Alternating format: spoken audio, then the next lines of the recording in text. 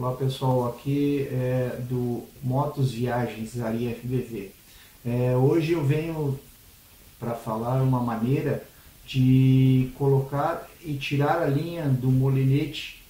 Só que eu, eu já vi vídeos usando máquina de furadeira e tudo, mas eu tenho feito com a máquina de costura e deu certo. E o bom é que pode tanto tirar a linha do carretel do molinete, como colocar a linha no carretel de molinete. Aí eu vou fazer passo a passo depois eu, eu mostrando como é que se faz, tá?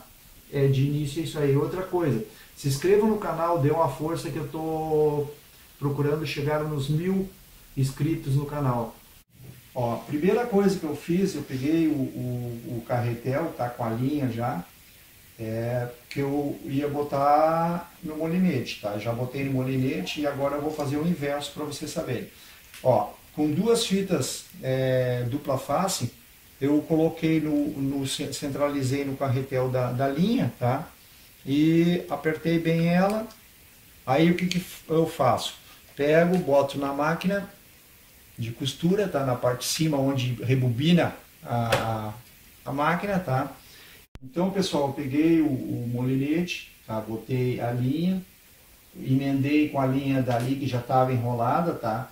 E nesse caso, aqui, ó, quando ela está livre, tá?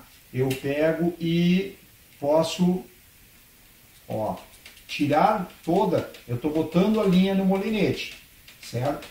Ó, é bem simples, tranquilinho, vai devagar. Aí esse é o processo de colocar a linha no molinete. Por exemplo, se você tiver uh, toda a linha já no carretel ali, você simplesmente vai passar a linha, por exemplo, aqui nesse caso, você vai passar a linha da, do carretel para o molinete, passar aqui, fazer aquela emenda que todo mundo sabe já como é que se emenda aqui, tá? E depois começar a enrolar, tá? Ó, começa a enrolar a linha, só enrolando a linha, e vai tirando a linha do, do carretel de linha, né?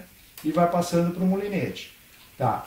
Quando for o inverso, eu quero tirar a linha do, do molinete, tá? Eu vou fazer o inverso. Aí eu, eu prendo aqui, certo?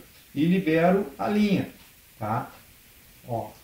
Aí a linha vai ficar livre e quando eu, eu começar a ligar a máquina, ó, ela vai enrolando, tá?